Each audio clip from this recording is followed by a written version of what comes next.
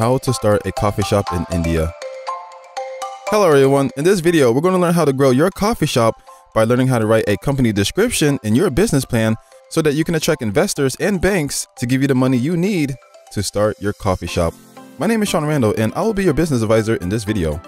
First off, what is a company description and how can it be a valuable asset for you to get the money you need to start your coffee shop? A company description provides an overview of key aspects of your business, such as what you do and what makes your business unique. Knowing how to write a company description for a business plan helps you to communicate with lenders, investors, employees, and potential customers. Lenders and investors want to see how your coffee shop has a place in the market as well as its benefits to future customers. When writing your company description, all potential questions and concerns, such as who, what, where, when, why, and how, should be answered. So let's talk about the 5 W's and 1 H to consider when drafting your first copy. 1. Who? Who are you and who is your business? In this section, you want to validate that the name of your business is clear in the business description section of your business plan and include your name and the names of any other owners as lenders and investors wants to know the entrepreneurs behind the business. The next question is who is your target customers and who are you selling to? When describing your business, make sure you know who you appeal to. You want to elaborate on the type of customers that will be targeted at your coffee shop. 2. What? What is your product or service? In this particular case, your product is your coffee. You want to make sure that lenders and investors can understand what you're selling and how meaningful it is. Clearly, you are selling more than just coffee. You are selling an atmosphere where people can come in not just to get a cup of coffee, but to socialize with people, meet new friends, conduct business and freelance work activities, and more. You want to communicate this to investors and lenders, otherwise, your concept may be passed on. Be clear, narrow, and focused when you tell lenders and investors about your coffee shop. The next question is What are your business objectives? Set realistic short term and long term objectives. For example, if you plan to earn a quarter million dollars from your coffee shop in the first year, include an action strategy that you will undertake to meet your financial goals. 3. Where?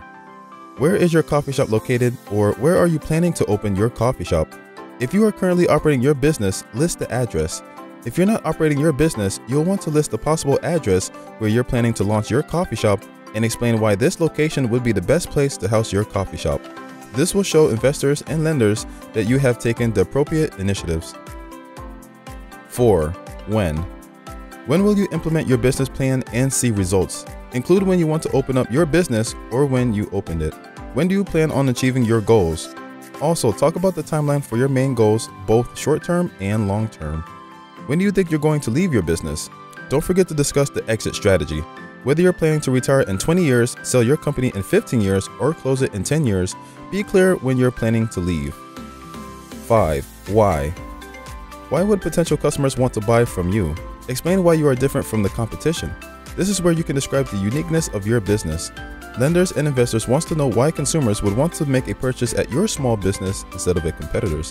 So one of the things you can include in your company description is that the interior design architecture is going to have a lot of wow factor and will entice your customers to come to your coffee shop.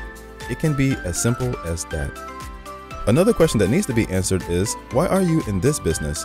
The obvious answer to say is that you're in it for the money, but that's a shallow response. The best kind of answer you want to give is something that corresponds to how your coffee shop business is going to achieve financial success. When answering a question of why are you in business, you want to say something of the lines of, the reason why I am in the coffee shop business is because of my profound understanding of what makes a coffee shop great. I've been conducting small market research to see what are some of the needs that consumers would want in a coffee shop. Based on my small market research, I have found that consumers are looking for a coffee shop with a luxurious interior design that will wow them. I believe that I am the right candidate because I am a creative visionary and at the same time, I also have available resources that will give me an edge to grow a coffee shop much easier. In parallel, you also want to include the mission statement of your business.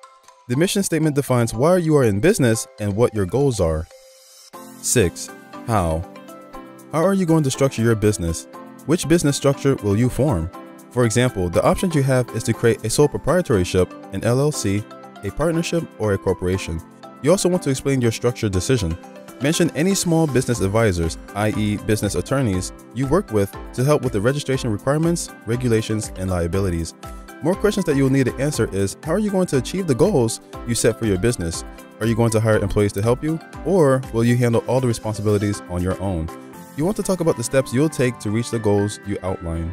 You can say something along the lines of initially, to keep the operation costs low, I will be responsible for all activities related to growing my coffee shop in the first 6 to 12 months. I will be the owner, the CEO, the manager, and the barista. After 6 to 12 months, I will outsource labor and hire employees and managers while focusing on managerial duties. This is a good response that you can use to explain how you plan to achieve financial success through your coffee shop. Another question to answer is how do you picture your company in the future? Here, you will want to include the vision statement of your business in your company description. A vision statement is an internal description of what you want your business to look like in the future. Writing the company description portion of your business plan should be fun and exciting, and this will be the time to actually brainstorm your ideas. This is your opportunity to talk about your business idea and get other people, i.e., lenders and investors, on board.